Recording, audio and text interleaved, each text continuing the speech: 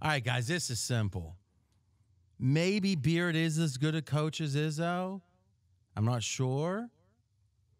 But what I know for sure is these Michigan State players feel like Izzo can bring him to the promised land. One land. minute. There's the trust factor. And with Beard, as much as he's loved by his players, and they did make the Elite Eight last year, Yep.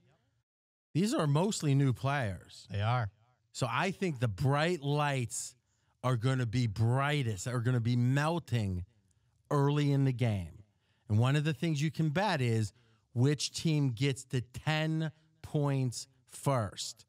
And to me, I expect Michigan State, whatever edge they have throughout the game, I think they have the biggest edge early because there's going to be the deer in the headlights 30. from Tech and even Coach Beard.